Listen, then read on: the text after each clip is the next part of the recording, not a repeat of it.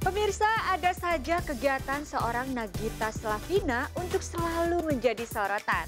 Istri Raffi Ahmad itu mencoba duet dengan pedangdut Via Valen.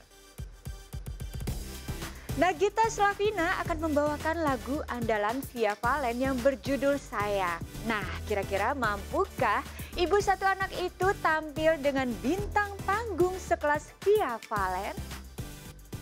Biarlah orang lain ingin tahu Cinta kita bukan untuk diumbar-umbar Nagita Slavina kembali menyemarakan dunia tarik suara dengan berduet bersama pedangdut Via Valen menyanyikan lagu Sayang.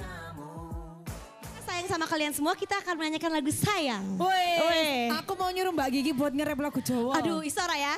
Iso Isora lah. ya, Isora ya. Tapi Jawa masa Oh, oh, tapi orang nggak bisa, orang ngerti.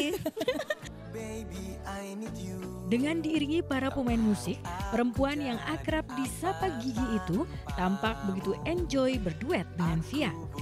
Keduanya tampil memukau, bahkan suara Gigi pun tak kalah merdu dari Via Valen. Apa kowe krungu cerita hatiku mengharap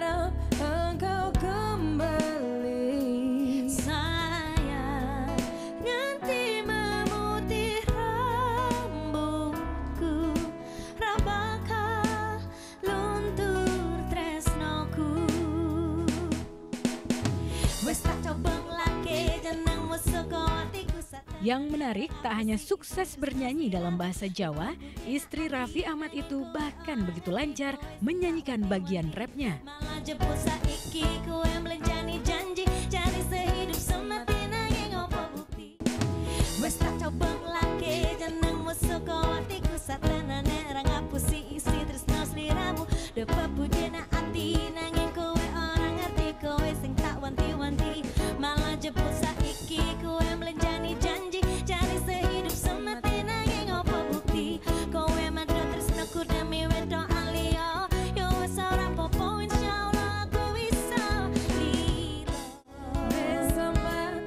Bahkan Via Valen tak segan memuji Gigi yang sukses nge-rap dalam lagu yang dipopulerkannya itu.